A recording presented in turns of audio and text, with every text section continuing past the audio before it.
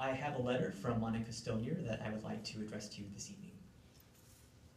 Dear Evergreen School Board, thank you for your service to our students and community. Thank you for leading the challenging work in a large district with, when state funding is lacking and constricted. I have been a teacher and instructional coach here at Evergreen for 16 years and have been proud of the bold steps EPS has taken to best serve our kids. From full-day kindergarten before it was mandated by the legislature to making significant cuts at the district level in order to protect the classroom when the economy took a downturn. Not all teachers have the opportunity to see the operations at the district level that I have, so I share frequently. However, we face enduring challenges.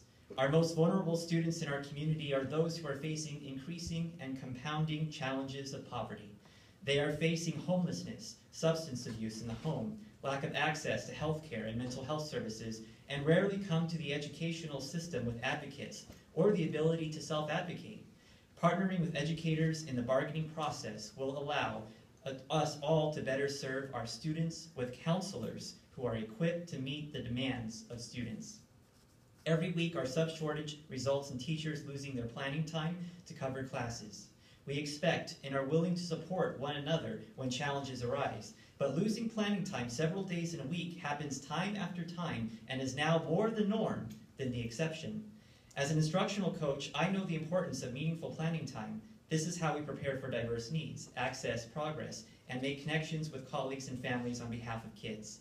This is when we collaborate, which has been a focus of our professional development time and budget in this district. We are going backwards because our planning time is not protected.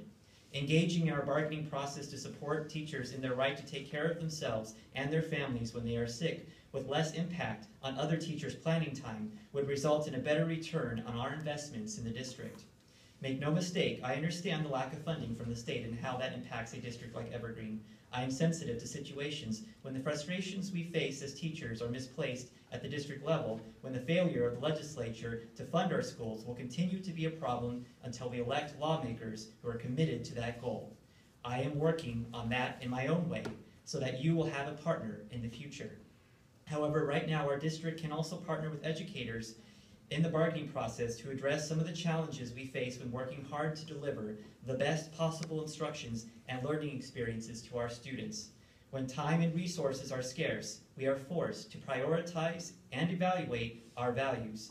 I am writing to ask you to encourage district leadership to partner with EEA members in bargaining so that we can best serve our shared priority, our students.